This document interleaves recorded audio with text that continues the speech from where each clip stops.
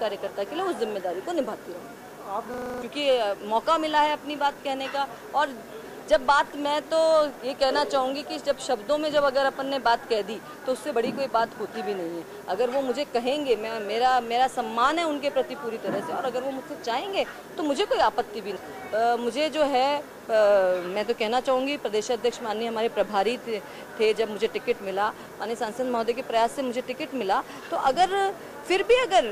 मैं कहना चाहूँगी कि पार्टी के मजबूती के लिए मैंने काम किया अगर फिर भी अगर कहीं हमारे प्रदेश अध्यक्ष को ये लगता है कि मैंने कहीं पार्टी के हित में काम नहीं किया है या उससे उसको कुछ नुकसान हो रहा है तो अगर वो मुझसे चाहेंगे तो मैं उनको इस्तीफा देने के लिए भी तैयार हूँ। लेकिन मैं पार्टी के हित में, आम कार्यकर्ता के हित में, चाहे मुझे अधिकारियों के विरोध में कितना भी बोलना पड़े, लेकिन मैं उनसे काम करने की जो ज़िम्मेदारी मैंने ली आम